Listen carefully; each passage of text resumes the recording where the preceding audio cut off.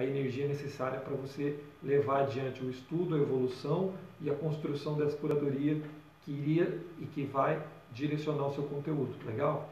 Então, voltando na, na parte de direcionar o seu conteúdo, decidiu que vai ser expert? Bacana.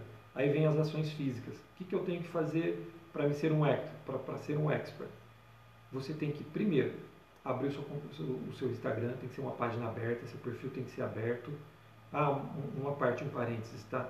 Eu, eu falo muito de Instagram e eu vou falar muito do Instagram porque é a principal plataforma que a gente tem para a questão do expert profissional. É através dela, é ali onde é aplicado toda uma metodologia que vai te fazer performar melhor e que vai te fazer é, ser remunerado por essa performance. Legal? Então a gente vai estar falando sempre de Instagram, a gente vai falar muito de Instagram. Então, continuando, eu vejo o perfil fechado. Meu, acaba, para. Já falei em, em outros vídeos, depois você corre no meu feed lá no, no Instagram, lê sobre isso, as razões, mas o que importa agora é que ele seja aberto, ele é uma vitrine, legal? Ele é uma vitrine. Segundo ponto, se ele é uma vitrine, é porque ele é uma área onde você pretende trabalhar, ele é um local de trabalho. Então você tem que tratá-lo com todo respeito, dedicação e carinho que a sua área de trabalho merece. O que, que eu quero dizer com isso? É, no seu Instagram, até hoje, né, se é que você tinha um, é, que, que as pessoas comuns fazem? Elas postam foto de família, elas postam foto de, ah, de prato de comida, postam foto do passeio. E é para isso mesmo, o Instagram foi feito para isso, legal? Mas não o Instagram do Expert, o Instagram do Expert não foi feito para isso. O Instagram do Expert é um local onde ele vai falar da expertise que ele tem, onde ele vai construir um, um conhecimento, onde ele vai atrair uma audiência e onde ele vai apresentar as soluções que, esse, que ele tem, que ele desenvolveu para essa audiência. Né? que são os infoprodutos, que são as mentorias, que são os closed friends, que são é, os grupos de WhatsApp, que são as comunidades que ele fundou, que, que tudo isso vai é, desembocar nessa cascata do, do Instagram, legal? Então, voltando, tem que estar aberto, tem que ser tratado com o devido respeito, porque é uma, uma área um local de trabalho, você vai pôr o seu, o seu conhecimento lá, trata ele com muito respeito, é, não usa ele e aliás não faça isso no local nenhum da internet, para ficar é, apontando falhas e defeitos dos outros, legal?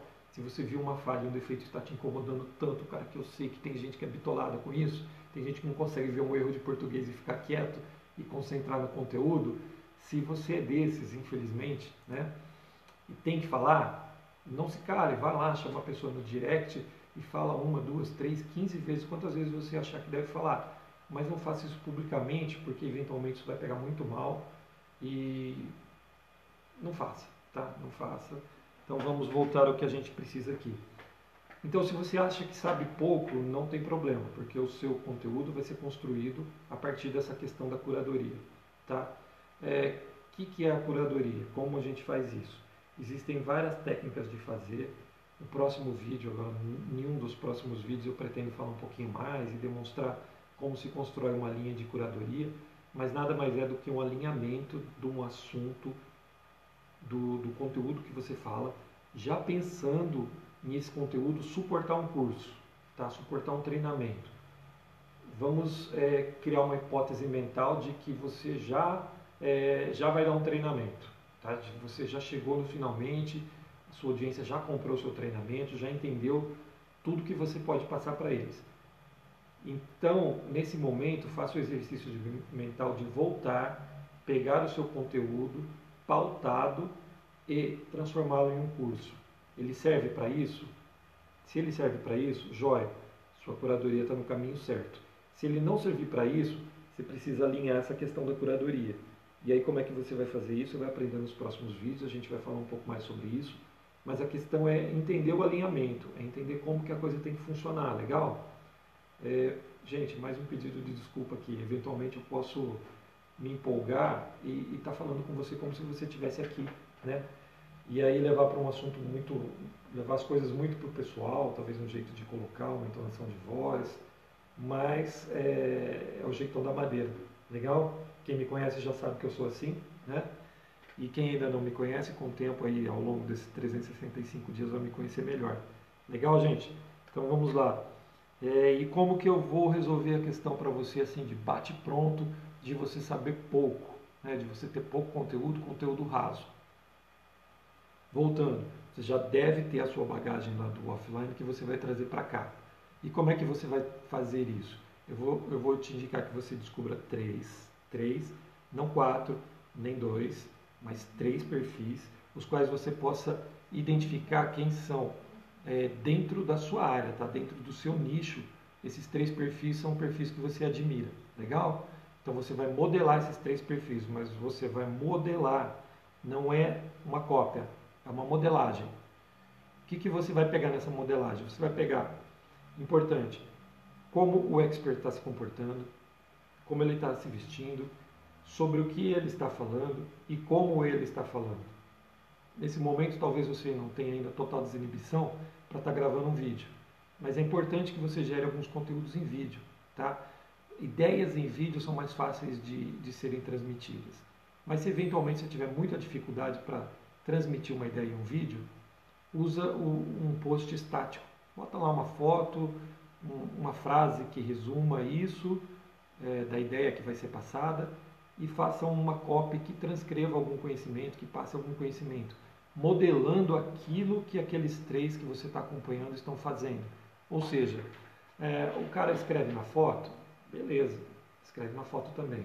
Ele não está escrevendo na foto, ah, eu captei que ele não escreve na foto, ele põe uma foto do assunto, ou ele não põe uma foto de nada que tenha a ver com o assunto, mas de um benefício que o assunto resolve, de uma dor que aquele assunto cura. E aí você vai acompanhar isso, vai fazer também, vai começar a gerar o seu conteúdo. Legal? É, identifica sempre esse modelo, tá?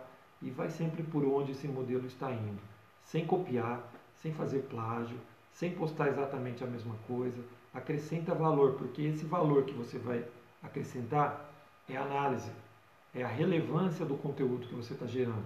E é por conta dessa simples análise parece simples para você, mas que para sua audiência vai ter um imenso valor, é por conta dessa análise que as pessoas vão te seguir. Entendeu? Porque a informação ela existe de monte. A informação está no Google, a informação está no noticiário, está é, tá nos, nos mainstreams. A informação existe. As pessoas sabem onde buscar informação, mas as pessoas não querem a informação simplesmente. Elas querem a informação com a relevância do conteúdo que você inseriu nela entendeu? Elas querem um conteúdo que transforma, elas querem a, a informação mastigada, elas querem o como, né? E é isso que você vai passar através do seu conteúdo. Legal? Gente, é, de novo, muito obrigado. Eu creio que, que vai ser um prazer, assim, vai ser uma aventura esse negócio dos 365 vídeos. Se eu falhar, eu vou ficar muito chateado comigo mesmo, porque é um desafio para mim próprio, né, para mim mesmo. E eu fico feliz de poder estar ajudando você, de poder estar gerando um conteúdo que transforma a sua vida. Né? E eu volto a falar, se isso fizer sentido para uma pessoa, uma pessoa, eu já estou feliz. Legal? Um abraço.